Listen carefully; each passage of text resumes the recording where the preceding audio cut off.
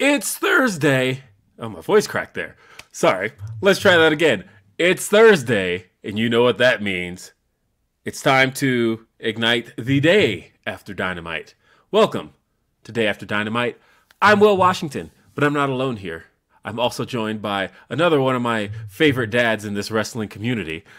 It's Mr. SP3.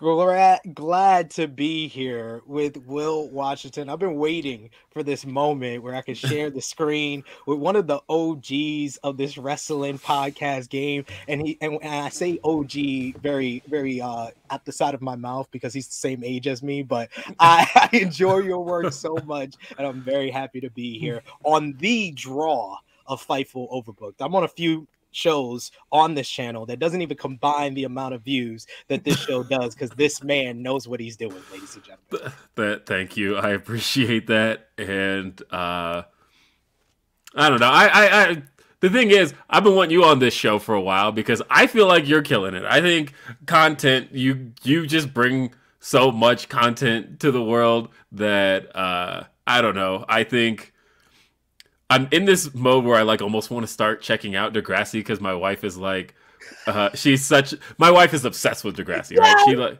so. Uh, when I told her that, um, well, we were just talking the other day because uh, Degrassi is coming to HBO Max, yes. and so uh, she has been wanting to bring it to my attention. Like this, how long my wife and I have been together. Um, when Drake first hit the scene, uh, she was like Oh, she was like excited about it because she's like, I can't wait. I know his whole career. And I'm like, really? Like, she was like, yeah, he was on Degrassi, the next generation. And I'm like, what the hell are you talking about? And uh, and then she like Googled it, showed me images. And I'm like, oh, okay. That's how long we've been together, by the way. Um, but uh, so either way, you know, you, you've got so much content that you've got out there. And I love that you have this ability to just kind of use your knowledge about all the things that you're into and just kind of like just talk about it and it's always great. I love SP3 and I'm so happy to have him here on Day After Dynamite right here on Fightful Overbooked. And don't forget to send us uh, your messages, uh, your super chats. Um, we always appreciate those. Those help keep Fightful Overbooked afloat and help us continue to do what we do. Uh, we got one from Ricardo, the bad guy, says love for the true heel phenom SP3. Thank you, Ricardo. Thank you, Ricardo. Appreciate the love, appreciate the super chat. And you don't know how much you just popped me by telling me that your wife is a Degrassi fan because I was that dude who was in like high school when Drake was dropping up like, man, that's wheelchair Jimmy. That's Jimmy yeah. Brooks. Like that. I, I, y'all want me to take him serious, and then he started rapping on the show, and I was like, okay, he's he's all right. So that was what yeah. she informed me of. She was yeah. like, so he rapped on the show, and I was like, nah, come on, I don't. What? That doesn't even. That sounds like a made up fact. That don't even sound real. And nah, I mean that that was Aubrey Graham, um, and so that's that's just funny to me. Uh, yeah, so we're talking last night's AEW Dynamite episode. Uh, it took place live from the HEB Center in Cedar Park, Texas, right outside of Austin um, previous episodes that took place here. Off the top of my head, we have the February 12th, 2020 edition of Dynamite, uh, show that saw. Hold on. I'm pretty sure I've got that card memorized. Um, we think that show started with a tag title match. Uh, Kenny and Hangman defended against SCU. I remember that. Mm-hmm. Uh, what else was on that show? That was the show that Nyla Rose won the um, AEW women's yeah the women's title. She beat Riho. One uh, of the, the best main... women's matches that they've had in in Dynamite history. Yes, agreed.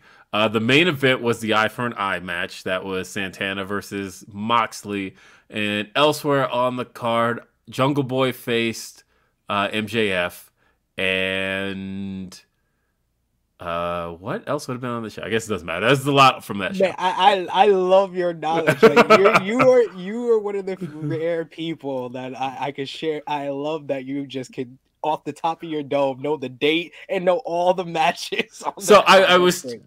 so I said a couple weeks ago that like uh, I was telling uh Share that my memory of pro wrestling has a lot to do with locations. I'm really good about associating locations with what happened there. So the only stuff that I'm like really scrambled about is all the Daily's Place stuff because like that all took yeah. place in the same place and it's all just it all runs together.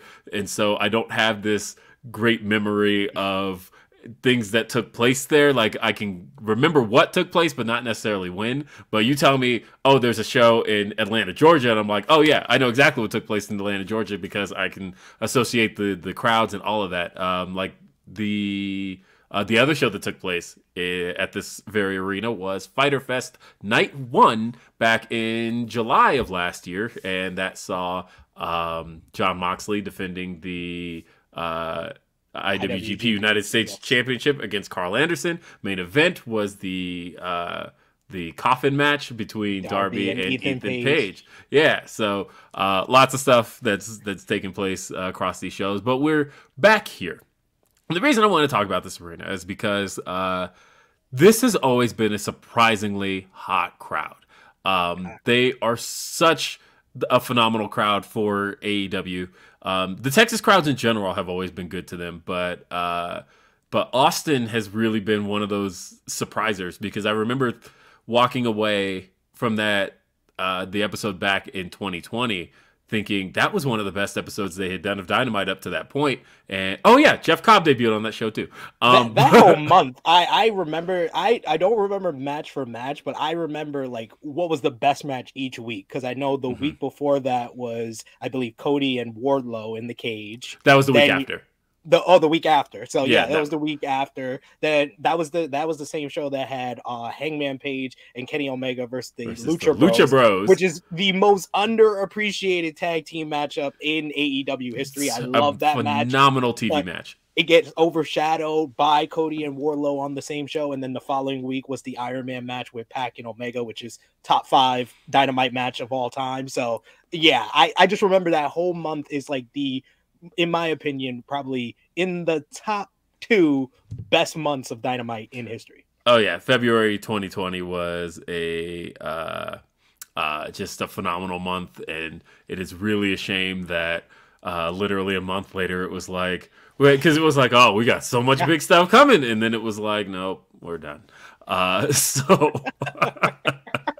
Uh, what a great time though. But yeah, uh, I I was really anticipating this because San Antonio was a great crowd for them last week too. Uh, but Austin really came through here. Um, practically sold out the show. There were maybe a handful of seats still left, but practically sold it out.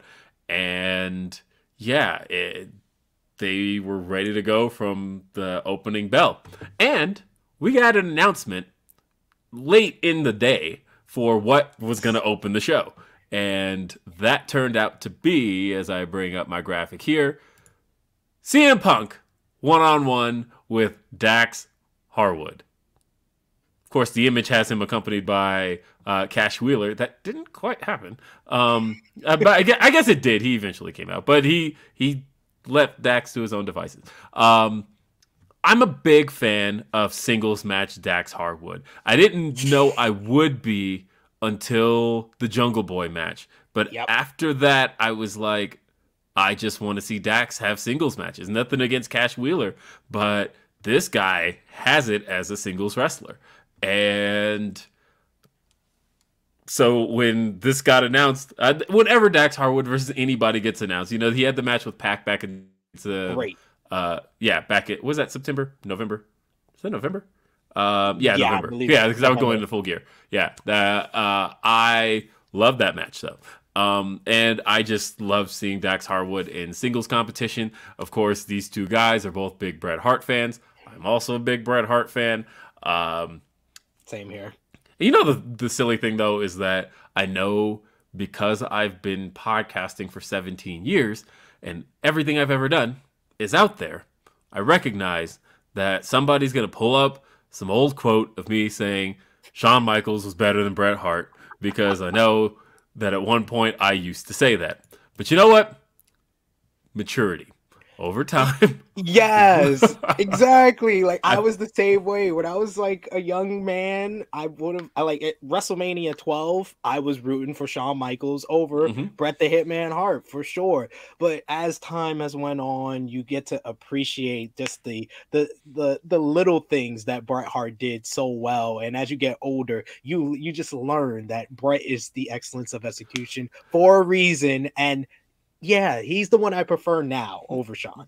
Oh yeah, same. I, I I say it's the biggest sign of maturity when somebody can admit that Brett was better, uh, and when somebody says no, no, no, it's it's definitely Shawn. I'm like, oh, you'll mature one day. But um, uh, I mean, because honestly, I didn't become a Bret Hart guy until the network era. Uh, because mm. honestly, it was in going back and watching a lot of Bret Hart stuff that I realized that like the what I pr- want in wrestling today is more of what Bret Hart brought to the table, and yeah. so um, like I, I just I matured into a Bret Hart guy, uh, and so sorry, I, I I was a Shawn Michaels guy growing up, I very much was, uh, but I'm a Bret guy now, and so knowing that these two are both big Bret guys, I was thinking about immediately. Okay, I know what they're planning in this match. They're both planning on bringing a little Bret to the table. Um, somebody had even noticed that it was the uh, the 25th anniversary of Bret versus Austin, Austin. at WrestleMania, and they were the in Goat Mania match. Just want to say that that's yes, the Goat Mania match. It is, and they were in Austin, Texas, so it was like 25th anniversary of Bret Austin in Austin with two Bret fans. Like it, it is poetic here. And uh, so that was the match we got. Uh, Bret Hart, or not Bret Hart, um, CM Punk versus Dax Harwood. Uh, might as well have been though, because um, they both they both went to do a Bret Hart style match. You could very much feel that all throughout this match, um, including Dax's use of the sharpshooter. Uh, and I don't know what you think of the match. Oh, I love this match. This was just brilliant, and and Dax pretty much did the Bret Hart working over the back offense in this matchup. He did the backbreaker.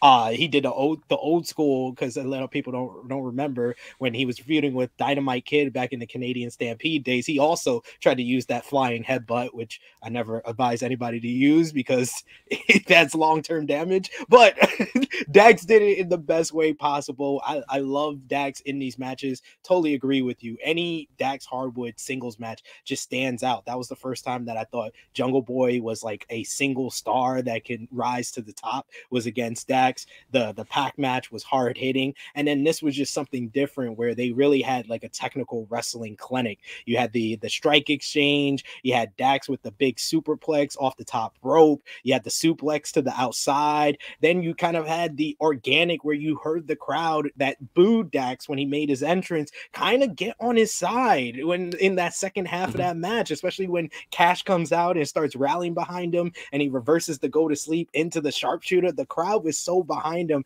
And I love just hearing the crowd kind of change and switch over like that. Like there was so much to love about this match. And CM Punk winning just made the whole bunch of sense. Love what they did with the post match too, with FTR usually would, you know, attack somebody or be bitter about a loss. No, they just took it on the chin. They were more upset with the Gunn Club, uh, the Ass Boys talking their smack more than they were with the loss here. So I dig it. So a lot of what you pointed out there felt by, design to me because I, I yeah. felt like as the match progressed, Dax was working more of a babyface. Not not in a way where like Punk was working heel, but in a way where it felt like two guys who just wanted to win more so than Dax working heel. And it felt like, you know, the last couple of weeks it felt like the FTR was was headed toward a babyface turn. It feels like uh, um, I'm pretty sure their contracts are up in like two months. So if there's ever a time to get one more Young Bucks match out, this is the time to do it. And it felt like they were planting the seeds last week. Uh, so that's that's kind of where I feel like they're going with this. Because uh, what they did you the night after or the Wednesday after Double or Nothing, the second one. So yeah. if they sign two year deals, double or nothing is pretty much what you've got left with him, unless you get him to resign. Uh, and so, if that's the case, like we got to get that second Bucks match out, and I think you're you're going in and out a little bit. I think you're yep. like they're sounding robotic a little bit. Oh. hmm. I don't know what's going on. Interesting. Tell me if that fixes because if you hear it that way, then likely. Yeah, I think I think uh, Joel just put it out in the live chat. The mic is acting up. You may want to like un- unplug, plug it back in, maybe. The problem is I hear myself just fine in the headphones, so it's got to be a connection thing. So that is no good. I know it did this last week. Somebody pointed out to me. Uh, Will, your connection is wonky. Mic is acting up. Uh, this is great. Do you hear it that way? Uh, you sound good now. Okay, well, I sound fine now. Yeah. Yes. Well, okay. Good. I like hear one part of you and then I don't. It's like I don't know. I think I think I think okay. Joel said you're good now, so you're good. okay, I, I I hope so. Okay, so where I was going with this, uh, I don't even know what people didn't hear, uh, but uh, the where was I even going with this? Oh, FTR. They're turning babyface very clearly. Yeah. Uh, I think there needs to be a moment, of course, where it's solidified, and I think uh, that probably happens. My guess is next week uh, against because uh, you know they they we'll talk about what they did with the pinnacle stuff later on. Um, but yeah, it felt like Dax was working the match all throughout uh, to kind of garner a little bit more babyface sympathy. And then as the match went on, uh, he came out of it in a way where it felt like the fans were supposed to feel like he gave a valiant effort. And of course, then you had the Gunn Club at ringside, who also seemed like they were there to antagonize FTR and uh, get us toward FTR's first uh, babyface action since they debuted, because they debuted at uh, as babyfaces, uh, and then yeah. turned heel uh, on when they attacked the Rock and Roll Express. Um, but a lot of people forget how we got here, but but they they've been uh, they've been healed since then. That was right before All Out 2020, and now here we are. Uh, so I like this. I liked everything about it. I even liked the fact that uh, like I don't even think commentary picked up on what CM Punk was doing when he yeah. when he did the whole like motion. Yeah, and uh, right, and then Excalibur's like, uh, oh well, CM Punk, of course, uh, referencing the dog collar match. I'm like, I think that was supposed to be a Hangman. Exactly. Uh, the dog collar is already around your neck. There's no need to do all right. of that. It's the hanging motion, and yeah. then he gets up and he's pointing at his chest, doing the the title belt signal. So it makes a whole world of sense to do this. I, I have been under the belief for months that it should be Hangman Page versus MJF at Double or Nothing for the AEW World Championship, but with the fact that they've had their li- their highest grossing live gate of all time at Double or Nothing already with 13,000 t- tickets sold, 1 million uh, grossing already, they need this big money type of main event and Hangman Adam Page versus CM Punk that fits the bill a little bit more than MJF and and uh, Hangman Page. But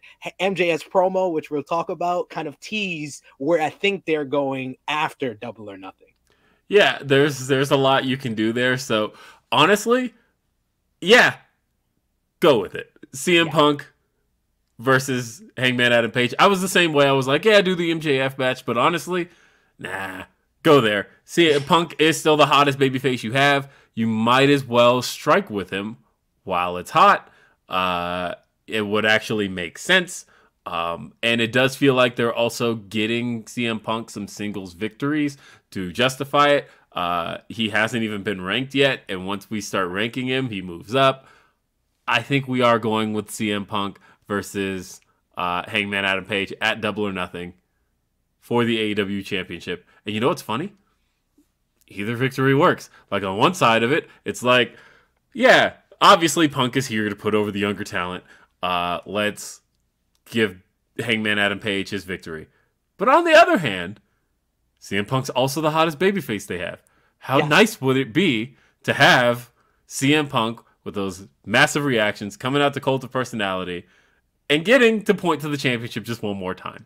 Like that also sounds great too. and so and the next pay per view after that, Chicago, like have Punk walk into Chicago as champ. That also sounds dope. So I don't know. I I would actually like to see that. I feel like um because Ace in the chat says that you know Punk has to get through Cole, and I thought, ah, does he? Uh, I'm pretty sure Cole and Hangman's happening at Battle of yeah. the Belts, and so you do if they're doing that at Battle of the Belts, then it doesn't matter.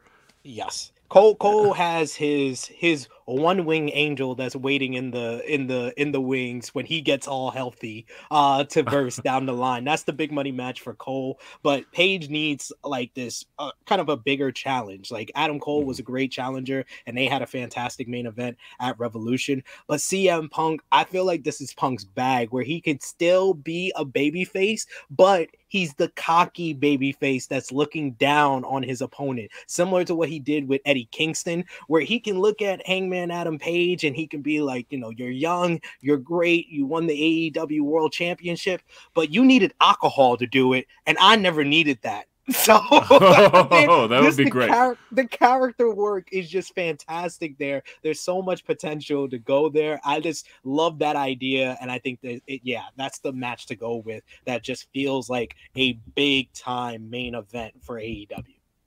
I agree.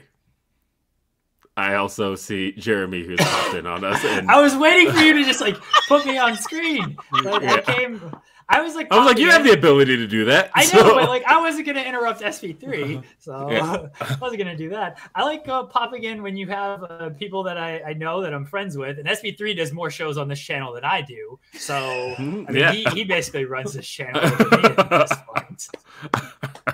We got we got three dads, man. You you I know, right? Like like, like Will, you you need to watch FMC because I'm giving uh, we're giving Jeremy dad training, so we need you to come on FMC because Jeremy is able to to talk about the dad life he's living. I'm able to talk about my two year old twins. I know you got the older kids, Will, so you're you the vet of. I, of I, I have my kids young. I know. I got a kid going into middle school in oh, a couple man. of months.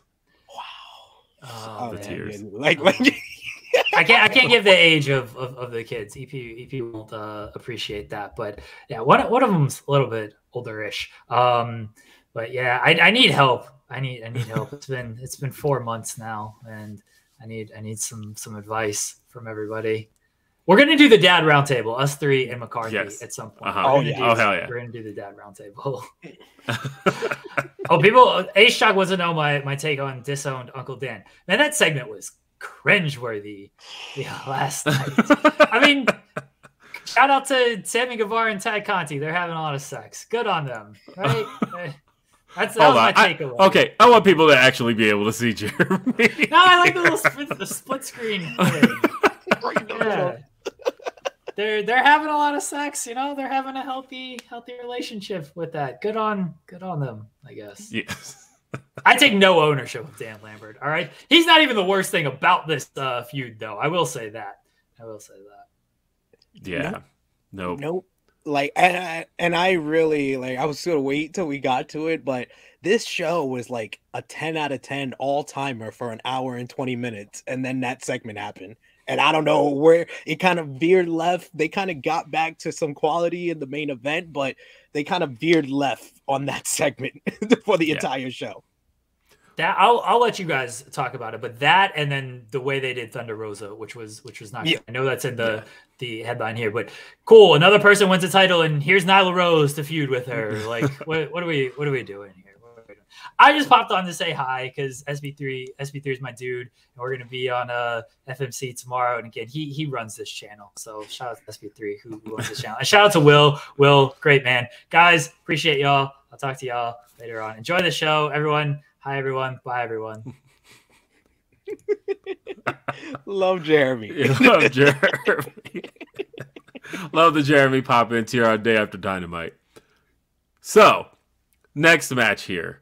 Uh, so we had a backstage segment with um, Jericho Appreciation Society. Uh, I feel like I didn't, I wasn't sure at first, but just watching this segment, I think this is gonna end up being what uh, Daniel Garcia has needed. And, uh, you know, say what you will about Chris Jericho. You got Sammy Guevara very over. Yes. And I'm already watching what this is kind of doing for uh, Daniel Garcia. I think he's going to walk away from this quite well. And uh, just a little bit of mic time he got here, very good. Um, I also do think that 2.0 is going to get very over out of this. Mm-hmm. Uh, this is this is good stuff. Actually, I'm kind of surprised. I'm liking uh, the Jericho Appreciation Society as much as I uh, as I am. I mean, I do still think it's kind of silly that uh, you have basically the same formation as the inner circle and you have a tag team called 2.0 and you didn't just call it inner circle 2.0 but whatever. Yeah yeah, I, I totally agree with you. The name was just there for you to take, but 100% agree with you on Daniel Garcia. This is a vehicle to get Daniel Garcia over, and he's been someone that they have given a lot of opportunities to. So you could tell that they are see big things in him. But having Jericho there, that's going to get him the character work he needs, the mic work he needs. He's already uh, amazing in the ring. He just needs the other things to become a complete sports entertainer. So that's yes. what this is all a vehicle to accomplish. And the number one thing about this entire segment that I enjoyed, it hyped the main event. And that's something that I think Dynamite lacks a lot is just Mike is either promo work or like video packages to make the main event feel important. So like last week, that was my biggest nitpick on the entire show. I thought the show was amazing, but my biggest nitpick is that Thunder Rosa, Britt Baker, they have a year long rivalry. Where's the video package? Give me 30 seconds just covering how we got to this point before we get to the main event, and it makes it feel bigger. And just having the promo segment here was nice. Okay, I have an idea. Um, because I think they used to do this in the early days of Dynamite. Yes, and I think they should bring it back. Um, but I would take a minute, and you know you got the video production crew for that. But I would take a, take a minute. You're, of course you did. I'm not even gonna have to ask, but you watched X Men growing up, right? Oh, um, so you remember previously on X Men. Yes. So I would love, but remember, it wasn't just what happened in the last episode. It was what's relevant to, to today's episode. episode. Yes. and so, because sometimes, you know, it's whatever happened previously that's relevant to this show. I think they should take 60 seconds at the start of the show, uh, which is like a previously on Dynamite, and just a quick 60 seconds of what is relevant to this episode. You know what's also good about that? This Is Us. I watch a lot of This Is Us. This, I, I, I was going to bring up Power. Power does that every episode. Mm-hmm. They don't yes. sh- or necessarily show you all the things that happened the week before, but they show you all the things you need to remember for this episode here. So that would have been nice on this one. Yeah, and I think I think just that would go a long way, especially with people coming straight out of Big Bang Theory who might just be catching this. I think that is something that you could do for this crowd uh, or for that crowd. Is like, okay, here's everything you need to know going into the show. Quick sixty seconds.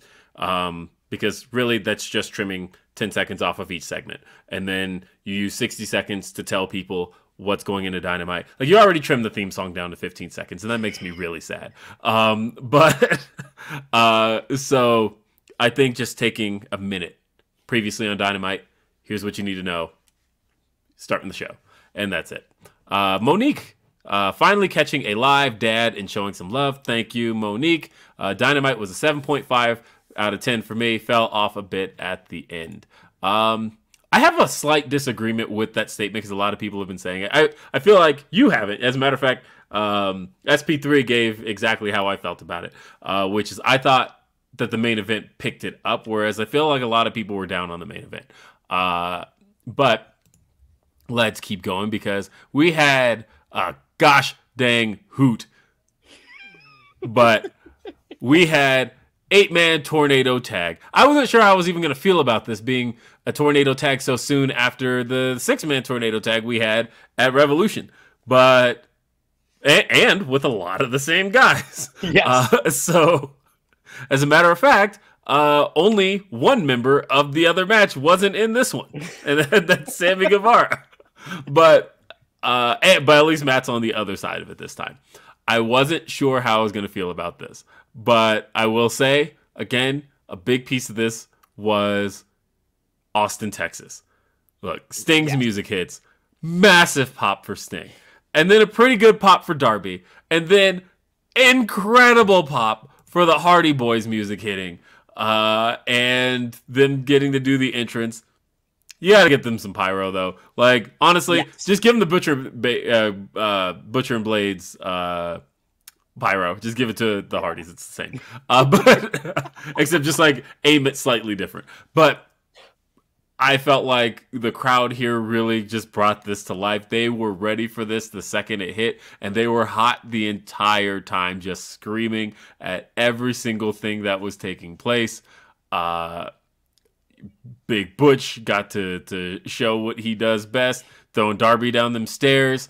Uh, he had, um, of course, right off the bat, Darby with the the dive onto his four opponents, but then Sting, uh, never one to to not just be Sting. And look, Sting, my favorite wrestler ever. I grew up on Sting. Dude, Love Sting. Dude, like I thought we I thought we had too much in common, but that is that is me 100%. Like oh, we do True Rewind on Fightful Overbook and all you will see in the archives of True Rewind is from the start of the Monday Night Wars for anything Sting Sting just has to do a stinger splash and I give him the MVP of the show because Sting. I was I was a stinger from you know the blonde hair surfer Sting me, me rooting for him against the the greatest monster he I ever saw, Vader. I was scared of Vader as a kid. I wanted to just defeat him all the time from there on on out to the the crow sting to I even liked Sting when he was against Terry from uh Terrence from Florida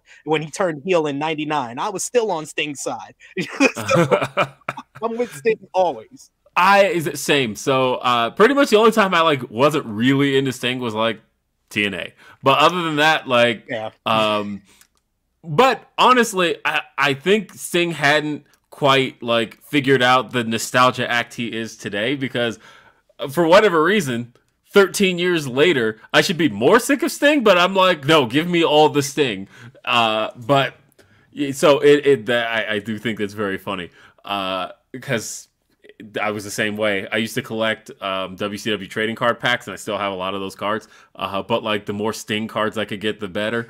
I was so into Sting as a kid. He was the best. Uh, and then yeah, when he became the Crow, are you kidding me? Uh, it was just a perfectly timed thing. I uh, love Sting, and so getting to see more Sting is never a bad thing. And yeah, him doing that dive, I like he kind of was struggling to find his balance, and I was like, oh my god, he's gonna fucking fall on his neck, but uh, he didn't. He he hit it, and it was perfect. Uh, but then Matt Hardy got to show out. Matt Hardy took the the side effect from Private Party off the stage, uh, back in the uh, concession area. We had uh, Butcher and Blade laid out on uh, those two tables, and Jeff Hardy got to have his first highlight reel moment in AEW already and he climbs the ladder and i'm wondering what's he gonna even do? Because the ladder is like not positioned well.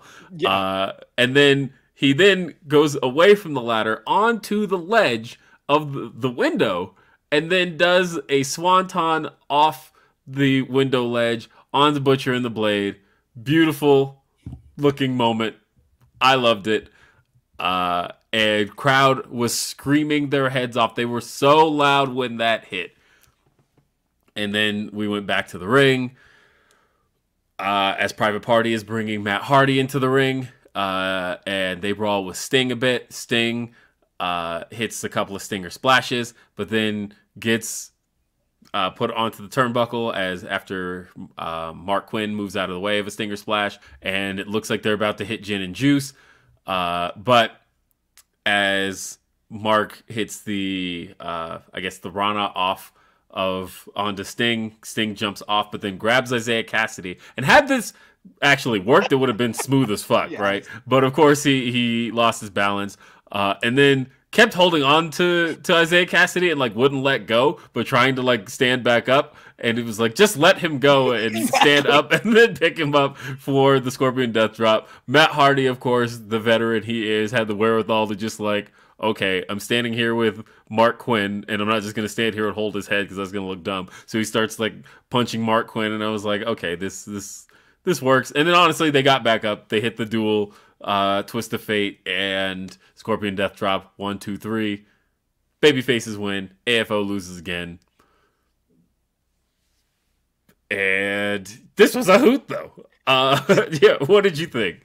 This was an absolute blast. Like I really legitimately in 1997 believed Sting was Batman reborn in professional wrestling and he still is proving to be Batman because I just saw the Batman movie this week and there's a whole scene where he just drops from a building and he has the suit on with the wings. That's Sting. Sting yeah. did it at Revolution. He went to a high spot and just dropped, and now he did it off the top ropes onto the whole AFO. Like there was no better way to start off this match than Darby Allin with the best tope suicida. So would you say, by the way, that Sting is like Batman Beyond at this point now? Like, yes. Is that yes. is that what he's? He, he's sixty-two year old Bruce Wayne, and uh-huh. he, just, he just comes out occasionally and just fights crime, fights off the AFO that's about getting money and stuff and destroys them. It, it makes it makes sense. And Darby is his Terry McGinnis. Look at this. Hey, it works. we we in there. It's all it's all works. It all works. This was great, and it was just like t- this was two back to back matches that were awesome in two totally completely different ways. You had a technical wrestling clinic with Punk and Dax Harwood, the Bret Hart special tribute match, and then you had this one which was just wild and insane. I felt like the Revolution Tornado Tag was like the Triangle Ladder match from WrestleMania 20, and this was TLC 2. This was just a step mm-hmm. above that one because you had Jeff jumping off a damn building ledge in his second match in AEW because he's Jeffrey Nero Hardy. And I had the honor to interview in one of his last interviews before he left WWE. And he said, he said he gave me three goals that he wanted. He wasn't able to do the first two because he was only there a month longer after I spoke to him. But his first two was get, getting a match with Roman Reigns for the Universal Championship. His uh his second one was bringing Willow character to WWE, and then his third one was reuniting with Matt Hardy. And I quote, he said, "Either here." Or somewhere else, because this was a WWE press junket. So he, right. he kept it coy on somewhere else. And I was just like, oh, I, I peep game. peak game. So so yes, just seeing him able to do what he really wanted to do, and he just seems very more happy, more comfortable here, just doing the insane stuff that we have grown in love about Jeff Hardy. And this match was just a blast. You had you had Darby Allin's kryptonite, which is a flight of stairs, him getting thrown down it. You had you had Sting being Batman. You had the Butcher being the Butcher, and I love the Butcher. He's probably my my favorite guy. That's like the most underrated on this roster. And, you know, Blade just knows how to take these bumps. And Private Party, man, I, I've gotten to see them, you know, being here in New York, got to see them starting out in HOG in Brooklyn when they were just starting out. And I've actually talked to them personally before they got to hit AEW. It's just so awesome to see them where they're really just realizing their dream. They're in there with the Hardys, with Sting. They're just having the time of their life. They're they're losing all these matches, but this is the best moment moments of their life. If you know these guys, you know that's a fact. So I after the first 40 minutes of the show, I was like, I just saw CM Punk, Jeff Hardy, and Sting have great matches back to back. What year is it? Like I had to double check. Yeah. Nah, honestly, it ruled, and I loved that uh, in pretty much every single one of these scenarios, uh, somebody else got some shine, and so I'm I, I I'm happy with this, and yeah, uh, uh, the N and the H uh, says in the chat that Private Party uh, is loving every minute minute of this. Of course they are. Are you kidding me? Those guys are having the absolute time of their lives. Uh, Ricardo the bad guy, by the way, says uh, I need Andrade to go on a singles tear. Um, we still haven't gotten the proper singles match with Darby yet. Like that's still on the table here. Yeah, Uh, they. I think they announced it for next week at the end of the show. So did they? yeah, they announced that, and I believe the the FTR versus Yeah, Gunn I saw the FTR match. I didn't see Yeah. the Darby versus Sting. Yeah, cool. yeah, or Dar- on- Darby versus Darby versus Andrade. Cool. Yeah. Finally. finally, Uh, yes. Yeah. I was like, I'm Uh, still, I'm still holding on to the beginning of this whole rivalry Yeah. where Andrade doesn't understand the concept of Mhm. friendship and tried to buy Darby from Sting, and he doesn't even call him Sting. He says, uh, which, Mr. Which, Stink. which, which, which, your boss, Mr. Stank? Mr. Stank.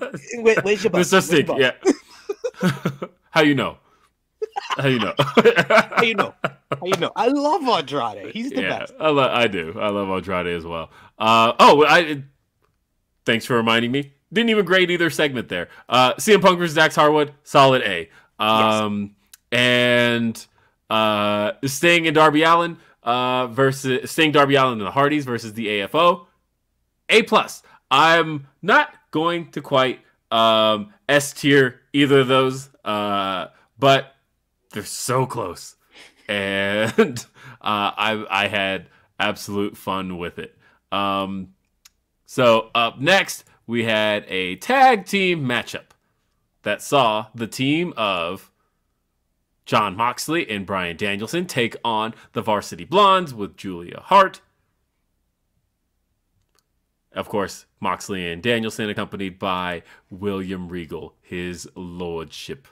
Uh, so, Julia Hart is, of course, at ringside. Just not even paying attention to the match. She's actually looking elsewhere, not seeing this in any way, shape, or form. She's got the eye patch on. She's still very down, very depressed. If you saw uh, this week's edition of Dark, they played that up a little bit more with um, the Varsity Blondes kind of being um, almost just like jackass jocks and not paying attention to her at all. Uh, during their entrance, they took their jackets off and just threw them on her, and uh, and so and they they're now in this mode of being kind of a little bit more obnoxious. They're very much teetering on turning them heel, uh, if we're not already there. And so this match was basically just Moxley and Bryan kicking the shit out of them.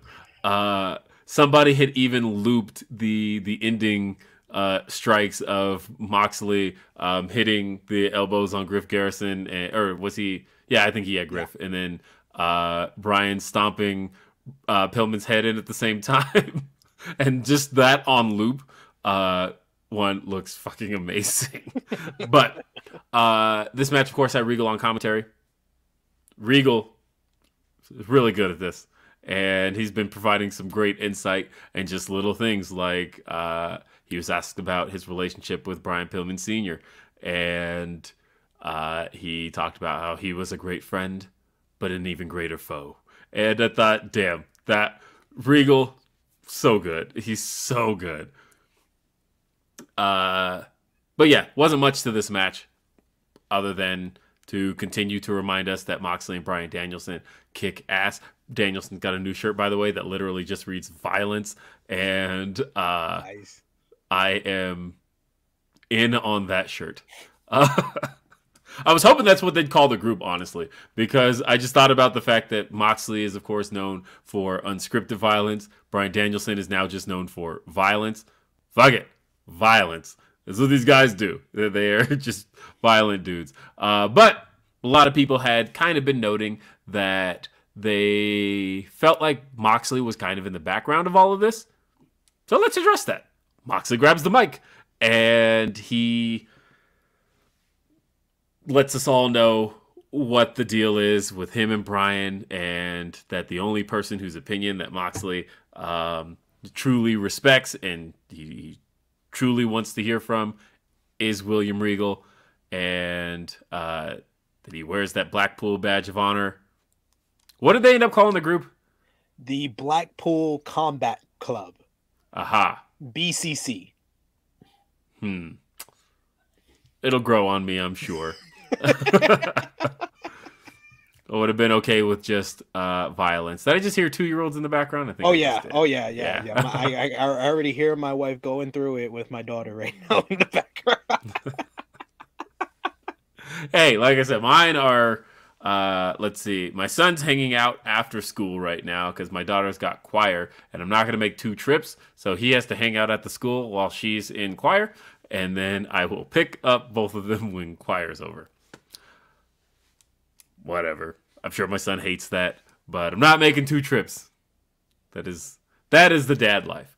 One day I will just do the the dad lessons of of Will Washington here. You just gave me my, my, my first lesson. I appreciate it. When, when, Yeah, my, if- my daughter's probably gonna do like uh cheerleading or gymnastics. I'm gonna tell my son you better get on the sports team, and because I'm not making two trips.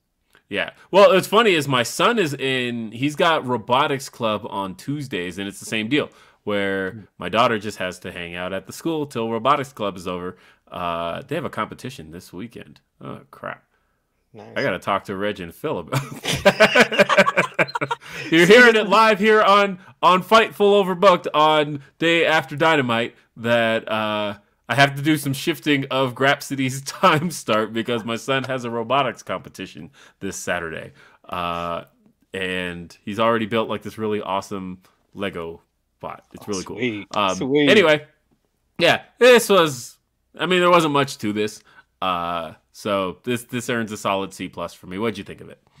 I, I would go as high as B minus for this one because I just love Moxley and Danielson together. Like Mhm. Bryan Danielson has been my I I, I like I love Sting. I, I I was a big Shawn Michaels fan when I was a kid. Like I said, my my mom used to tell me The Rock was my stepdad, and that my stepdad that was living with us was just there because The Rock had to travel across the world. So The Rock is also in my tier. But Bryan Danielson is the only wrestler I could say I saw in a in a a busted down uh building in New York City before he became a star and got to see him get to the heights in WWE and now what he's doing in AEW is just amazing. So I just love Bryan Danielson because I have that connection with him from seeing him when I, I was ruined against him at my first independent show, which was Ring of Honor Final Battle 2006, only because Homicide is my New York brethren. So I was cheering for him. But when I saw Bryan Danielson, I was just like, this guy is just magic in the ring. He's just so smooth. Everything he does is just so perfect. It's just perfection. That's why I love Bryan Danielson. I mean, uh, Moxley and Regal calling him the perfect wrestler because that's what Bryan Danielson is. And just Moxley, I've always just loved from hearing him in like Dragon Gate USA with all the promos. I was like, who is this guy? Like, he's talking like he's Brian Pillman S. Like, just I had that vibe with him from the original time I heard him. And then you know, I was still with him throughout the WWE run, even when it got bad. But seeing him in AEW in his bag, being what he was meant to always be, and now with Regal, who I've loved since he was Lord Single, uh, Steven Regal with Jeeves in his corner at WCW. I just love these three together. So anytime they can just be dominant on anyone, I enjoy it. And then the promo by Moxley was fantastic. And I, I'm with you on the Blackpool Combat Club. I have to get used to it, but it just sounds badassery. So I'm I'm, Yeah. I'm gonna go along with the ride. I'm hoping, by the way, that uh, I looked it up just to find it. Um, but I am truly, truly hoping that AEW secures uh, Regal's WCW music. Um, I think it's licensed Yes. through, um, uh, I want to say Associated Production Music. So it wouldn't be that hard to get your hands on. But uh, if they can get their hands on Regal's WCW music, I'd the Lord Steven. Regal music, I would too. The moment that hits, would love it. Uh, that's what I'm hoping we get to hear. Uh, but I'm with you, by the way. Bryan is like, if you ask me who the goat is in terms, like, I think best in the business today. Bryan is my favorite wrestler. Period. Like Sting, I've got my sentimental attachment to because I was a kid growing up with Sting. But like, favorite wrestler guy I've enjoyed watching. There's nobody I've enjoyed watching more than Bryan Danielson. Uh, and that somebody new would have to come along for that to change because nobody now is on his level to me. Uh, so next segment we had MJF. So I have to hand some props to AEW for at least uh, trying to be consistent now because uh, I I don't know who had the bright idea, but somebody realized that based on the way the story is told, Wardlow shouldn't be listed on the AEW roster, so he's not anymore. They did remove right. him today from the AEW roster because really the big payoff to this angle has to be Tony Khan tweeting that that Wardlow is all elite when he gets yeah. the graphic because that graphic never happened. Uh, the, when Wardlow debuted, there was no Wardlow was all elite graphic. So when that happens, it's it's weird, but that would be the payoff here. So MJF and Shawn Spears are out here to basically address what happened, and uh, and him. Oh, MJF. I do have to note also reminded us that he does he is not done with CM Punk. So I did want to hear what your thoughts were on that, Mister. Because uh, that's the other thing. For those of you who really don't know SP3 like that, expert fantasy booker over here. and so, like, one of the best, honestly. Thank you. Thank and, and so, uh, I am curious what your thoughts are on MJF and CM Punk and, it, and, you just reminded me of the first time we were on camera together. I legitimately said CM Punk win winning the AEW World Championship at All Out in Chicago against MJF. So right. now I have to reverse that because of what he he said in this promo. He said that he was going to deliver the most embarrassing loss of CM Punk's career. So he what say that? What's more embarrassing? than losing in your hometown in the main event of a pay per view for the first time. That would be the first time that a heel really ends off a pay per view in AEW. What would make that worse?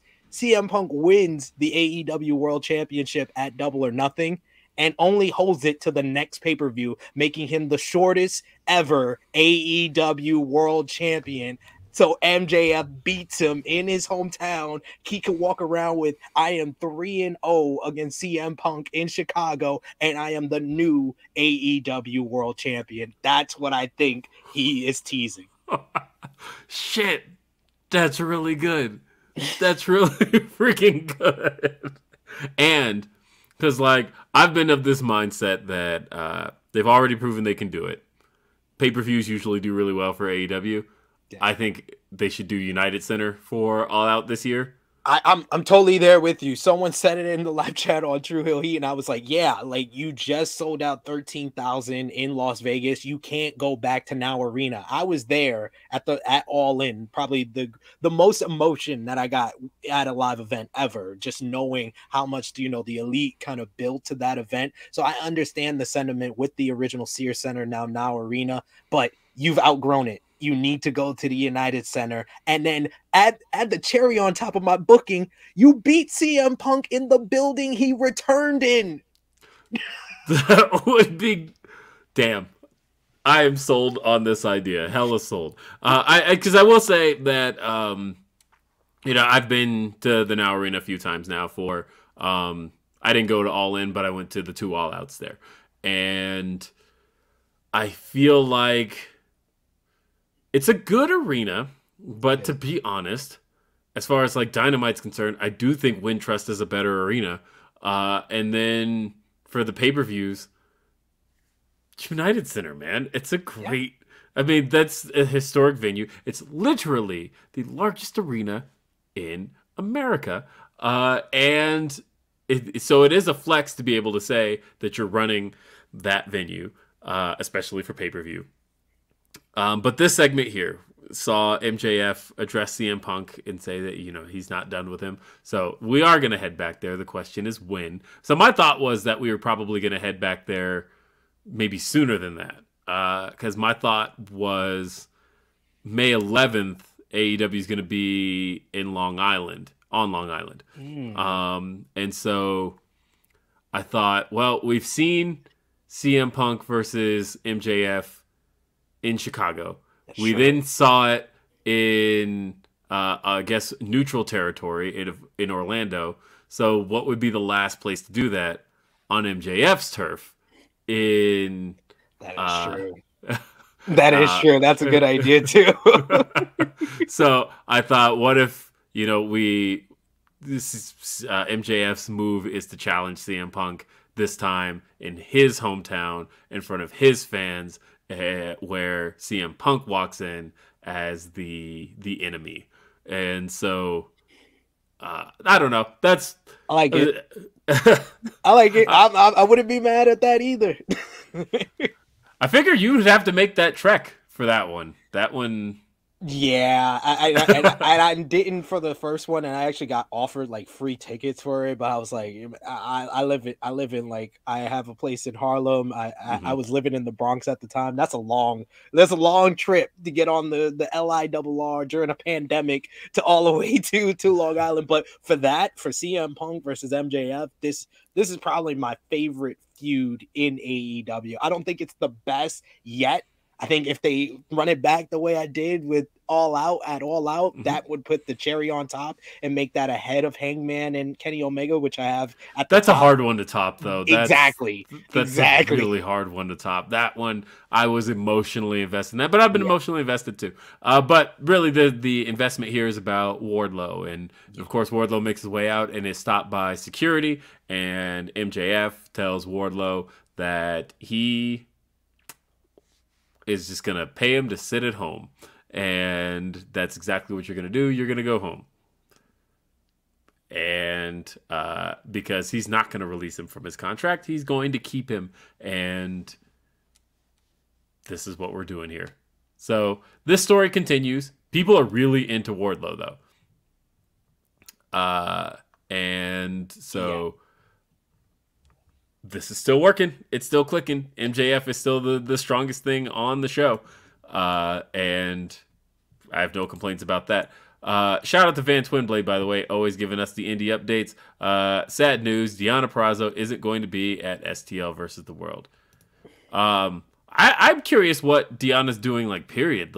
Like you know, she's working the the Impact show, of course, um, yeah. on Friday, uh, WrestleMania weekend, but she's also the Ring of Honor uh, Women's Champion. Yeah. Which is also happening Friday. I think they have like a two hour difference. That's why I'm like telling a lot of people you may want to start, you want to watch the beginning of ROH Supercard of Honor because I think they're going to kick off with the Briscoes versus FTR because the Briscoes are on that Impact show against the Good Brothers. So they have to do the ROH show first and then make their way to wherever, you know, if there's a distance between them or and then the, the, well, we're talking one's in Garland, Texas, the other's in uh, proper Dallas.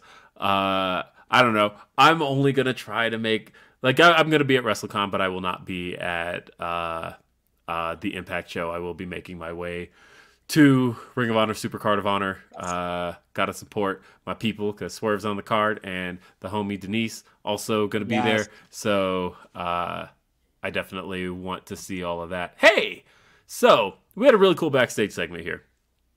Uh, the best friends were being addressed, and I love I've always loved the idea that Wheeler was brought in while Trent was hurt, and Trent returning has never really had any fondness for Wheeler Yuta. Um, they've further elaborated on this on being the elite. If you follow any of that, uh, literally Trent showed off his gear, uh, which it had little symbols for every member of Best Friends, and it had a little alien for Kris Statlander, and it had the I think it was the glasses for um, for Orange Cassidy, and then it had literally a poop emoji, and he said, "You know what that is? That's a piece of shit for Wheeler Yuta." Trent has just never been a fan of Wheeler Yuta's. I think that's actually because even if um, you don't follow any of that and you're just watching the show, he's just always been kind of apprehensive toward him. He hasn't been, yeah, uh, he he hasn't wanted to be a part of uh, or wanted Wheeler to be a part of any of that. And Wheeler addressed that. Wheeler's like, look, I'm not here to be the best friend I can be. I'm here to be the best wrestler I can be. And so Trent told him, we're done with you. And so Wheeler's out of best friends. And he wants, he sounds like he wants to join the Blackpool uh, combat club so you can do a little you know maybe multi-man matches with that but i think definitely i think wheeler yuta versus trent this that that will be a big time matchup for Wheeler Yuta's future. I think it would be great if they did that on a Dynamite or a Rampage and had Regal on commentary, maybe Bryan and and uh and Mox at ringside, just to like kind of further scout Wheeler Yuta because they seemed like they that's going to be the first guy that they put under the wing of these three guys. Absolutely, yeah. I, uh, I, I think that's exactly where this should go, and I'm uh, really excited to see what goes down with these uh, with these two. I want to see Wheeler Yuta versus um, Trent like soon. Like just jump on that. We, it it has to happen as a match. I'm ready for it. And I think Dynamite's probably the place for that. Uh, I also think that if you give Yuta the win there, you can like immediately go into, you know what, he's earned a spot. Uh, Wheeler Yuta is now all elite. Like I don't know, there's stuff you can do with yeah. that. And yeah, uh, I, I, forgot we never got that that he's all elite yet. So, yeah, he's yeah, not all. true. He's not all elite yet, so that's that's the point where they can make that happen. Uh, so like I said, there's there's stuff you can do there, and so next up we had uh, the number three ranked Jay Lethal, and a lot of uh, people were asking, "Huh? Okay." uh, taking on Adam Cole, uh, a renewal of their rivalry uh, from very. Uh, I, I, wasn't going to say early. I wanted to say early, but no, that's not early at all. Um, but six years ago in Ring of Honor, these two uh, had beef. Uh, Jay Lethal actually had his head shaved by the Super Kliq, and like why wasn't that mentioned? Like excalibur gave us like they burst in the ring of honor championship tournament uh, mm-hmm. cole beat him for his second championship. He's the one that he turned and joined the young bucks and the bullet club and the elite on jay lethal but he didn't mention the biggest one, which was the the signature braids of Jay Lethal, who were shaved off the Bow Wow braids, as yeah. I, I like to call them. The Bow Wow braids that Lethal used to have was shaved off by Adam Cole. I was like, Excalibur, come on, man! And then yeah, he said that, death, death by dishonor instead of mm-hmm. death before dishonor, which that was a pet peeve as well. Yes, especially because look, Ring of Honor's in the family now. It's not one of those things where like you have to loosely address their history. No, you have their history. Just do it all. Just talk about it all. It happened. Uh, but yeah, we saw Jay Lethal take on Adam Cole. Um, and you know, presenting Jay Lethal as number three ranked in this case meant that Jay Lethal was going to have a, a solid showing. Um, because this wasn't just a, an exhibition match in this case for Adam Cole. This was Adam Cole versus somebody who's top ranked. And so in this case, Jay Lethal really came out swinging, and we had ourselves a really competitive match. A match that at one point it almost felt like Jay Lethal had won. Uh, but yeah, we saw a really back and forth competition between these two. Uh, some really fun reversals. I thought the reversal of the the first initial reversal of the um, lethal injection was really good uh, some near falls uh, because people keep falling for the Panama Sunrise as a finish, even though he doesn't win with that. Um, but but people fall for it. Uh, and we do we do at one point see Red Dragon make their way down to uh, attempt to uh, help Cole get the victory. Um, the finish ends up being uh, another attempt at the lethal injection, but this time a low blow hit by Adam Cole. Uh, and then he hits him with the boom. One, two, three. Adam Cole is your victor. And uh, Adam Cole gets on the mic, says that he is the rightful AEW world champion. Out comes Adam Page, who starts whipping their asses, literally, uh, as he pulls his belt off, uh, starts going to town on all three of them but they the numbers game gets the best of Adam Page, then outruns Jurassic Express, but Adam Cole in the process of them escaping steals the AEW World Championship. Interesting. Very, Interesting. Like very, the, very. So I'm wondering where this is headed. I have a couple of ideas. So my first thought is just do Adam Cole versus Adam Page. one on one at uh, Battle of the Belts rematch. But then I saw somebody pitch the idea of a winner take all six man match. And I thought, mm. oh, that would be fun too. Uh, because we are obviously also going with Red Dragon versus Jurassic Express for the tag titles. What if you went winner take all? Ooh, that would be very, very interesting, and I, I, I would love that because that match last week was an absolute banger to open the show. I was Mm-hmm. on my, I was, I was getting off of my my couch watching that match last week, so I'd be down for a rematch, winner takes all. But I think that the Hangman Page taking off the belt meant something, and maybe they might do a strap match, which I'd be all the way down for my myself there too. I like Adam Cole's uh promo. The one one part that you missed was him saying Hangman Page is a coward. He's not man enough to come out and stand toe to toe with all three of us. that was a great line. That's great. I love thought- that. This is such a great line. I agree. That was so good. I just love how they are actively through his like promo work and through the finishes of his matches. They are actively trying to get this crowd that loves Adam Cole during his entrance to boo him, to get Mhm. heat on Adam Cole. And that was something that always was a thing that I nitpicked about his NXT run is that they made him kind of overpower a lot of people. He didn't need Undisputed Era to beat the Johnny Garganos of the world or the or the Velveteen Dreams of the world. He just beat them. He just beat them. It was like, how are we? Why are we supposed to boo this guy? Why is this guy the top heel when he's beating everybody pretty much on his own, even though he has a stable? But here in AEW, he uses low blows. He uses distraction from Red Dragon. I like that they are kind of going in that yes, he is a heel, and they've still given him a direction throughout all of this, which I enjoy because the one pet peeve that I have with like title contenders in general in AEW. You you get build up for your title match, you use you lose your title match, and then you kind of seem directly directionless for a while. But Adam Cole has stayed on the same path. He wants the AEW World Championship. I like that they're going back to this match because it did deliver at Revolution. But I do agree with you. They need a hook to it, whether it's the strap match, whether it's a trios winner takes all. They need something. And I would also talking about the tag team titles. I would want Red Dragon to win the tag team titles in a two on two match because I don't know if anybody realizes, but this week on Rampage is going to be their first official real two on two tag team match in AEW, even though they've been here for three months. Yep, I, I noted that going into Revolution that somehow, some way, their Revolution tag match was the first time they had competed as a tag team, and it was for the tag titles. So, yeah, and now their first proper two on two is happening this Friday on Rampage. Fun.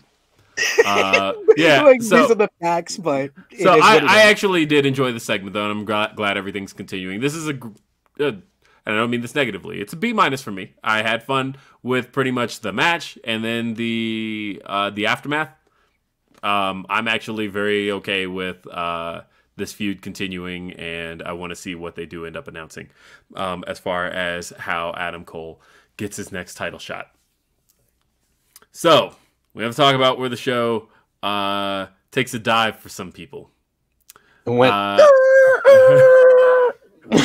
so Sammy Guevara in the ring. I'll be a tad more positive about this than most. I thought Sammy to start here was fine, yes. completely inoffensive. I thought that uh, he talked about, um, you know, he mentioned the style he works is probably going to shorten his career, but he doesn't care because uh, he's going to live for the moment, and these fans uh, do the things for him, and it gets them off their or gets them uh, on their seats and and off off their feet, on their feet, on their feet, and chanting "Holy shit!" and uh, that's what keeps him going, and that's what's going to continue to motivate him. I thought all that was fine. I've seen people dogging on that. I thought that for the most part, you know, Sammy did pretty prototypical babyface stuff Yeah. that you would expect to see from somebody like Sammy. Wasn't offensive at all. Uh, and then Tay Conti. Uh, uh, um, I, I would say like that it starts to kind of take Mm-hmm. a little bit of a dive. Even still, wasn't terribly offended by Tay Conti here. And then uh Men of the Year and Dan Lambert make their way to the ring or to the top of the stage.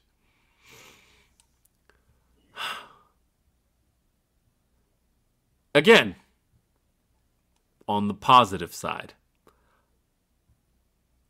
when Dan Lambert doesn't have to go for low hanging fruit, it's not that bad. No. And like Lucha Horace is like really low hanging fruit and totally unnecessary. It is. I didn't think he was terrible here until like that. And then it was just like, what? Do, and unfortunately, that was pretty early on.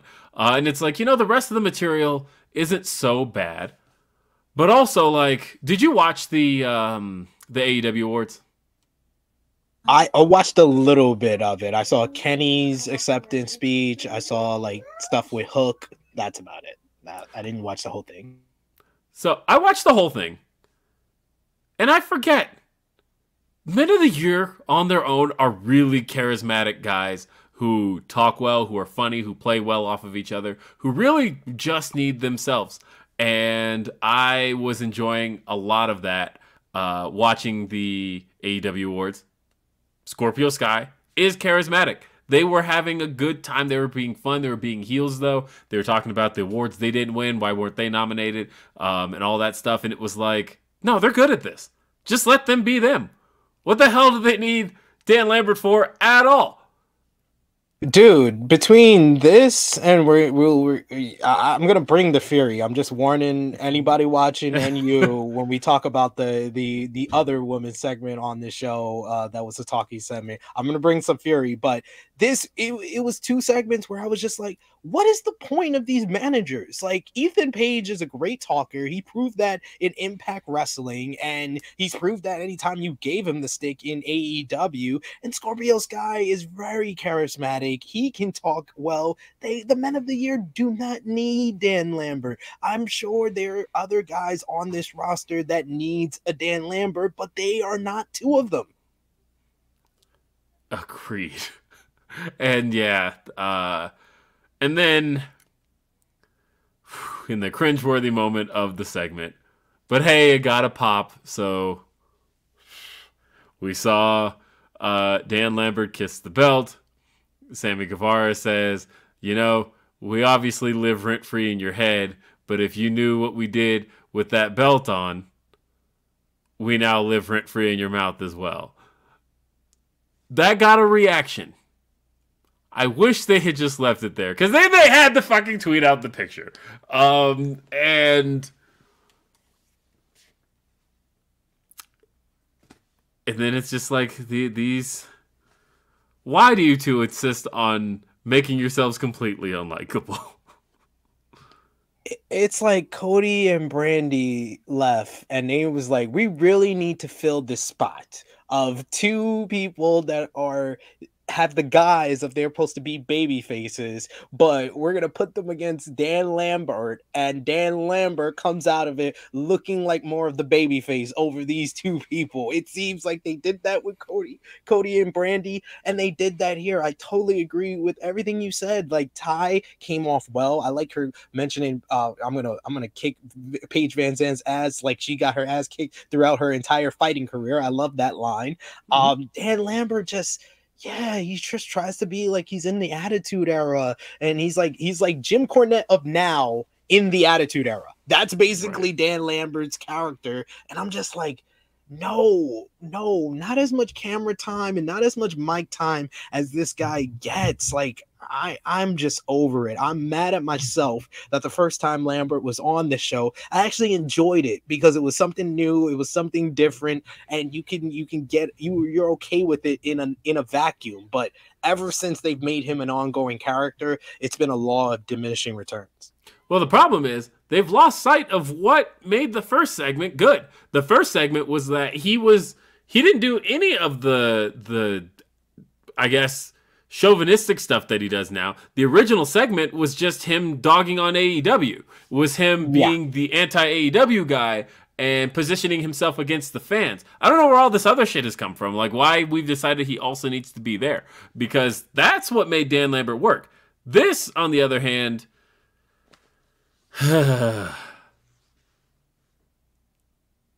D.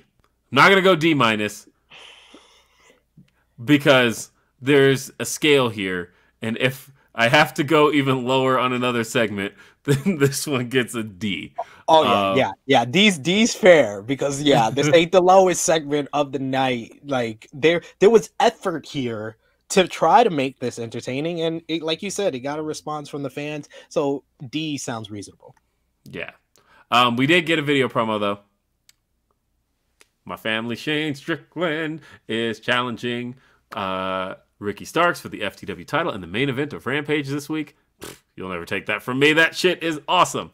Um, and yeah, it's it's a it's a good time. It's a good time to be in the Washington Strickland family. Uh, and it's it's so funny because um, I was just talking to him the other day because I get random friend requests from people with the last name Strickland um, because I I've come to assume that if somebody has the last name Strickland, they're probably related to my dad in some way, and uh, and so usually if I don't see they have a mutual friend between me and Shane, then I'll usually like message them. I'm like, hey, do you know this person? And, and somebody just added me, and uh, they they messaged me. They're like, hey, I'm your third cousin. I'm like, okay, that's cool. Um, so that's that's my household, and it's uh, that's my family, and that's that is what it is. Uh, and it's so funny because uh, growing up, um, and I think it's on Swerve's Wikipedia page. For those who don't know this, we have a cousin who played for the Dallas Cowboys, Fred Strickland, um, in the wow. '90s, uh, and uh, there's not much more to it than that. Shane Strickland. I'll never have anything negative to say. I can't. There's, there's nothing more I want than to see that man succeed as a star in pro wrestling, and he's in AEW now.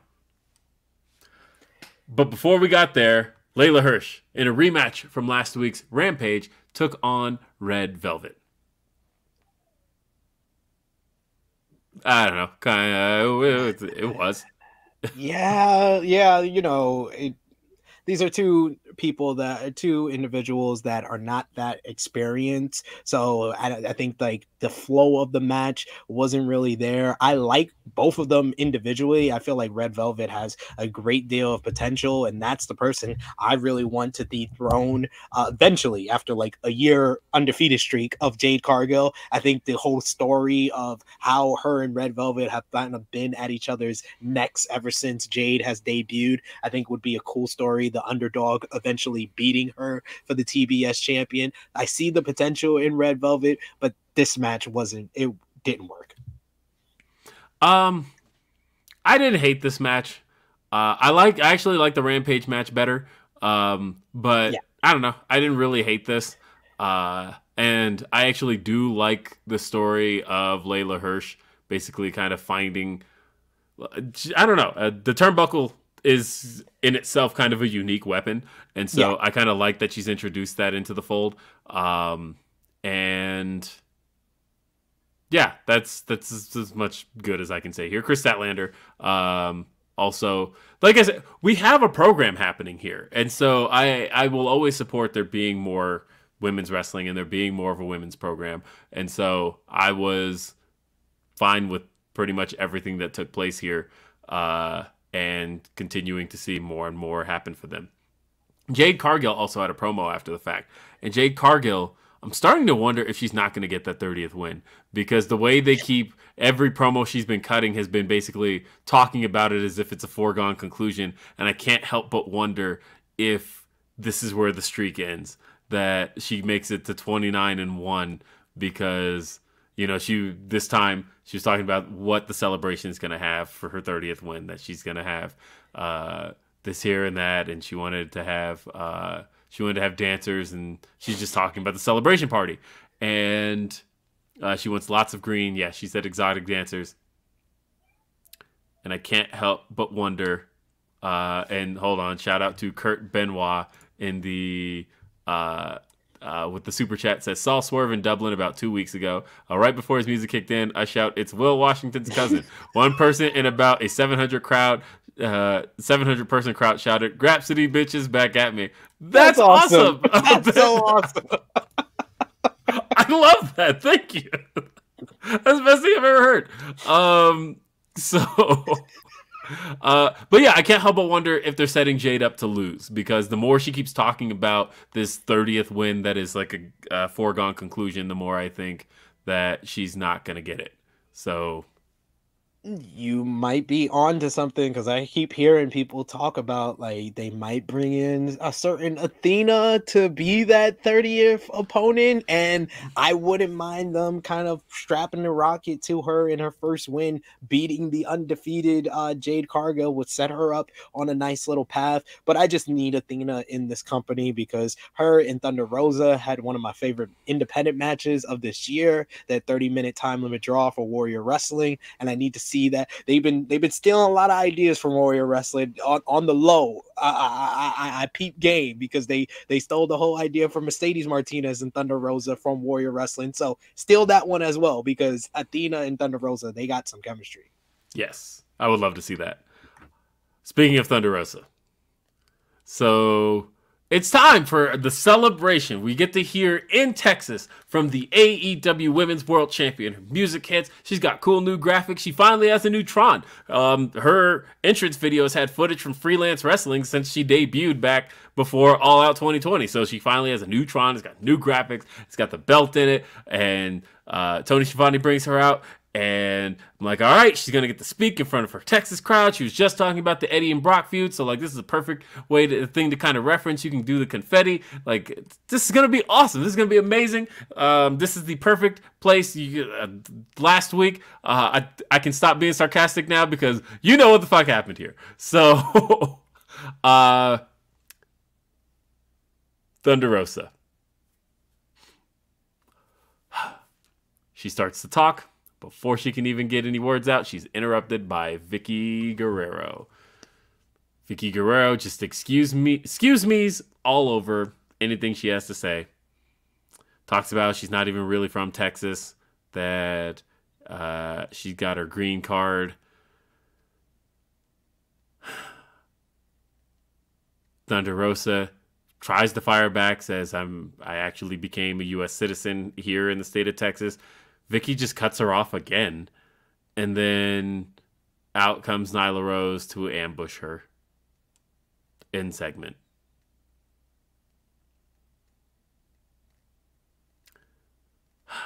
Uh, this sucks for a number of reasons. One,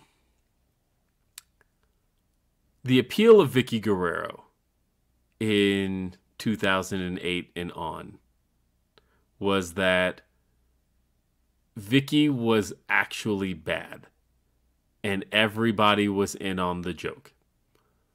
But I never really felt like Vickie was ever good. Um, and I love Vickie Guerrero. Uh, but that was part of it. Like, yeah. it was like, hey, Vickie sucks. And uh, this is why. and it's like, okay, we're all in on this. She, yeah, she doesn't really talk well at all. She's screechy. She's annoying. Um, there's not really any redeeming qualities uh, when you think about what professional wrestling managers bring to the table. She doesn't have any of them. And that's why this works. That was also like 14, 15 years ago.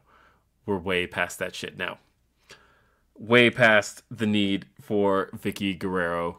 Uh, and it's at the point where you talk about uh, one of the best episodes of Dynamite, that February 20th or 19th edition, 2020, uh, that saw the steel cage match that had that tag title match. It also had a really good battle royal on it.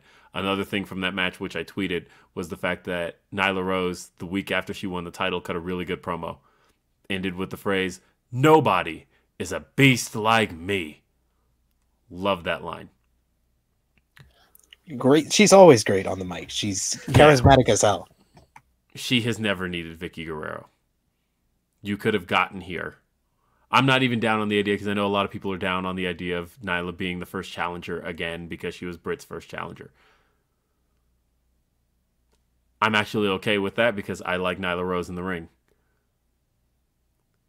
I think the biggest issue here was going places you didn't have to go.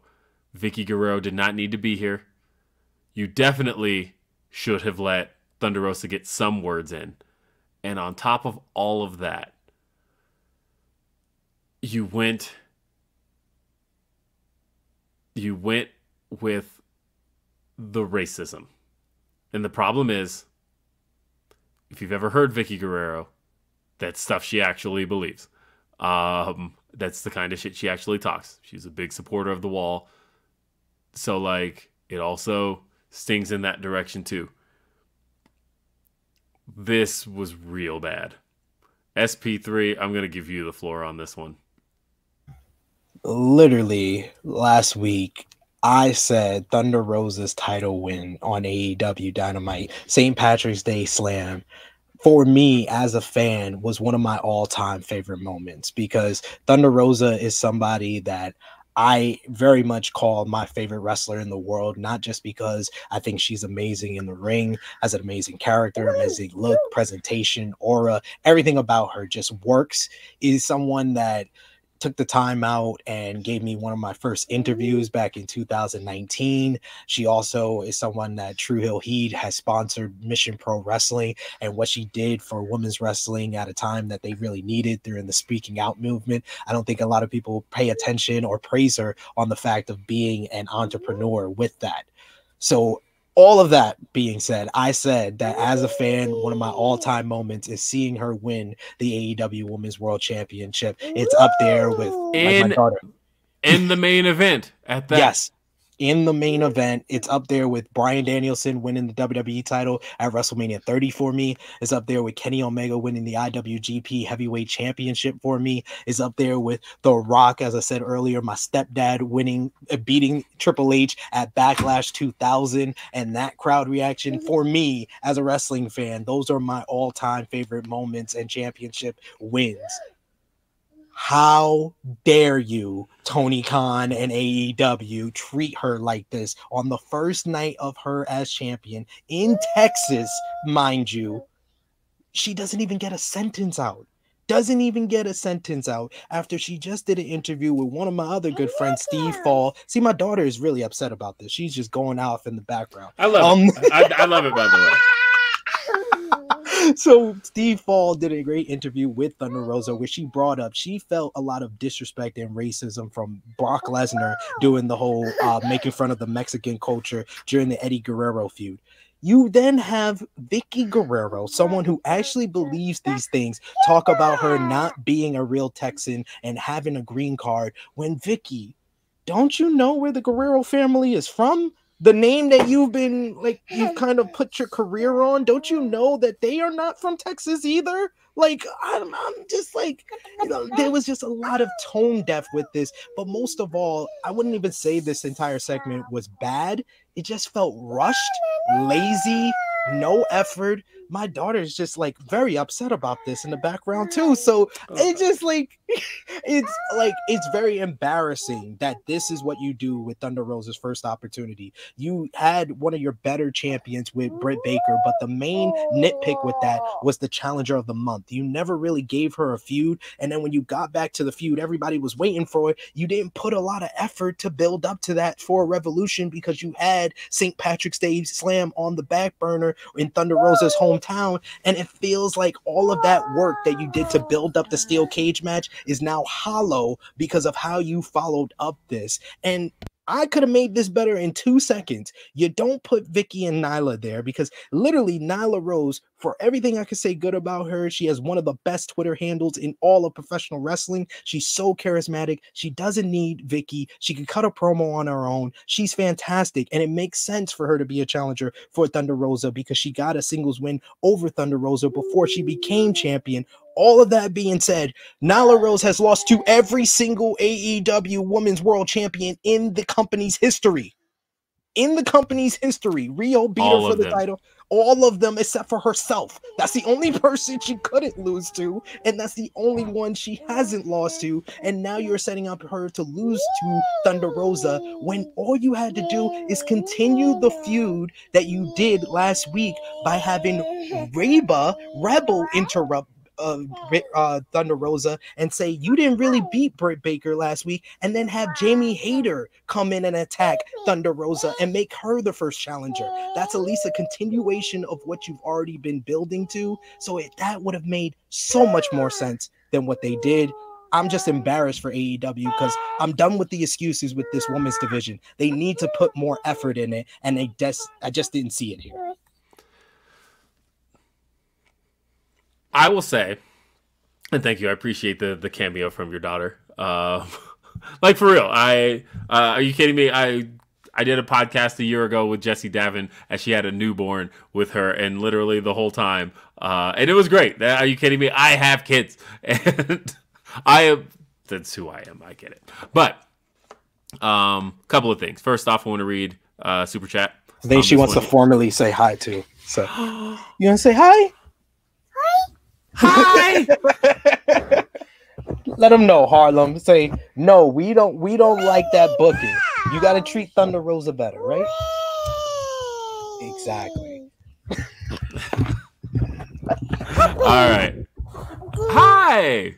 All right. So, Van Twinblade says mandatory viewing when the VOD drops. Jake something versus Ethan Price from Glory Pro. Uh, good times, uh, bad times. Um, and then also we got another uh, from Monique who said rushed, lazy, and no effort. Kind of describes the booking of the women's division for the most part. TK needs to do better. So I'm gonna back up here for a sec because I feel like if I use this as an indictment on the women's division as a whole, then uh, I feel like I'm not giving the credit to the shit I really like, like Shida and and um, and Serena Deeb, um, which I feel like Serena Deeb's come off very strong. I actually have liked the what's been going on with Kris Statlander and Leyla Hirsch. Um, I like the fact that I got three women's matches at Revolution. I like the fact that Jade Cargill has come off like a star. So, what I am going to say here, though, is that um, I thought that they did gain so much goodwill in that main event last week. And to come back here, lazy is the proper term here, mainly because this is like he, this is what I mean when I say this. So A Shock here said, "Is the AEW Women's Division dead to everyone?" See, that's not the shit I want to say here because again, No. I just brought up multiple things in the division that I'm a really big fan of. Yes. Um, and so, no, that's not what I'm going to say. I'm going to say that this was lazy. And it was lazy because this is exactly what we did last year when Britt won the title and we went straight to Nyla Rose and uh and, it- that wasn't the move to do because you had to fight against Britt being a babyface, getting cheered, and having her go against a heel. It that I I've been criticizing that move. I was like, this was the perfect role, even if she was on her way out of the company. Big Swole beat Britt Baker in a major feud in the tooth and nail match, the feud that really got Britt over. The perfect first contender for her was was Big Swole. If it wasn't Big Swole, you put in Red Velvet. You put in a bait. You put in a baby face that the fans can get behind against Britt, and I feel like then I would be okay with Nyla Rose being the first challenger here. But because you just did that with Britt, now this does it just feels like retread. yeah, it's definitely retread and like no matter what this segment like fails. This is an F. Um easy F. That said, um can the angle win with me? Really only one way that can happen if I can put my fantasy booking cap on, which is that uh Vickie Guerrero uh, accompanies Nyla Rose to the ring. We get Nyla Rose versus Thunder Rosa, AEW Women's World Title on the line. I don't know. We do this next week on Rampage. After the match is over, Vickie Guerrero power bombs or gets power bombed by Nyla Rose, and we never see Vickie Guerrero again. That's my fantasy booking, and we're done with that. Um, because that's honestly my biggest True. problem here. I yes. can I can live with Thunder Rosa facing off with Nyla Rose. Recognize, I mean, I recognize Nyla Rose, perennial loser. She's basically like the Dolph Ziggler of this division. Continually gets the challenge, never really wins. Uh, unless Nyla Rose, I guess, goes to Ring of Honor and wins, then I she's was, also Dolph Ziggler. I was going to say she's the Lance Archer of the women's division. Yeah. Um, and so, but even Lance Archer got to win the the yeah. IWGP title. That's true. Um, and so yeah, somebody also asked in the chat. They said, uh, uh, what was the question? He said, "Where is Shida? Where is Deeb? Where is Ruby? Uh, Emi, Riho, and Yuka already back in Japan? Where is everyone?" Shida was there last night. She uh, she did some pre tapes, uh, not pre tapes, I guess. She taped some stuff um, for the Deeb feud, and then also uh, I think she worked Elevation as well. Um, I'm pretty sure they're gonna. They still have to blow off that match. They're still two and two, and they've been yeah. cutting promos on each other. I think they're going to do some type of big match between Shida and Deeb. Like I said, they've got the best stuff. Um, honestly, I think Shida versus Deeb two is like up there as one of my all time favorite women's matches. Um, and it's also one of the highest rated women's matches on Cage Match of 2021, uh, which surprised me. Um, so again, I there's places that are working in the women's division. So I don't want to be one of those people who just kind of says that this whole thing uh, is an indictment of the entire division, but it is an indictment of booking the champion, and it is consistent with how the champion has been booked um, the last really two years. And so yeah. uh, I just I want to see something more, and I do agree in the uh, with a lot of people. Uh, there's a lot of names you could bring up here that I would like to see, like an Emi Sakura. I would like to see. Um, hell, uh, I, I, feel like this is probably what uh, Leyla Hirsch is building to, is some kind of title shot. Either way, this was such such a bad segment, and there's so many little pieces here that could have saved it, such as just giving Thunder Rosa a minute to talk, talk about how much the moment meant to her. Yeah. Just just but, give her an opportunity to say a sentence at the very least. But oh. everything you could have done wrong with this segment did get done wrong. And that to me is one you don't get back because you're not going to be in Texas next week. Uh, next week, you're in South Carolina, uh, Columbia. So yeah, this one is a total loser to me. Yeah. And then finally, uh, in the main event, we had the Dark Order. Um, and I did like Excalibur noting how um, John Silver and Alex Reynolds have become the star members of the Dark Order, noting that it's kind of replaced Stu Grayson and Evil Uno uh, yeah. because these two got to face the Jericho Appreciation Society. John Silver, Alex Reynolds, um, I didn't dislike any of this. I think people were only down on this because the previous segment pissed them off so much. Uh, but no, this was fine. Uh, I think John Silver uh, is fantastic, and he works a really great heart. Er, he works a really great hot tag. I think him and Alex Reynolds are actually a really solid team. Um, I think people probably also had an issue with this being the main event because nothing happened. I think that uh, had this ended with say a return of Santana and Ortiz and Eddie Kingston or something, people would have been more into this. But the yeah. fact that it just kind of happened, this is one of those matches that probably could have happened in the middle of the show and wouldn't have offended anybody. But because of where it happened, how it happened, and the fact that there was nothing afterward, uh, I think that's mostly what got people. Um, Chris Jericho faced uh, I, and, and, they won. That was the other thing. Like I said, the match itself wasn't all that remarkable, other than the fact that it was a good match, and John Silver has a great comeback yeah, he, the best hot tag that I it's very reminiscent to Cesaro in the bar. Just yes. how he just goes crazy on everybody, hitting moves all outside the ring, inside the ring, the big dive off the top ropes is very reminiscent. I love John Silver. I think him and Alex Reynolds are the star tag team of Dark Order. And I like Daniel Garcia getting a victory here in the main event using Red Death to get the submission win. So uh, all of this worked. I just think that if you swap this out with the Hardy, Sting, and Darby tornado tag, you you would have had a night and day better show honestly like the last 40 minutes is where like it kind of fell off and then this match was good but it just wasn't at the same level as those first two matches had this been good earlier in the show i think yeah i agree. Everybody would remember it better and remember the second half the second hour of the show because the first hour was a 10 out of 10 honestly. Like there was just so much good going on in that first hour. It felt like they were on their way to an all-timer episode even into the second hour with lethal and cole and then just like I said, they kind of veered left. Like there was stuff I liked about it, like you know Sammy's part of the promo, Tay's uh, line in the promo. Nothing after that, but uh, then then there was stuff I liked with Leyla Hirsch and Red Velvet. Nothing I liked with the Thunder Rosa segment, and then this match was solid, solidly worked, but it just felt off. You should have kind of finished with the tornado tag, in my opinion. I I agree, and I thought that's what they were going to do. I was actually shocked that it was the second match on the show. Um, so yeah, I give this match a C plus.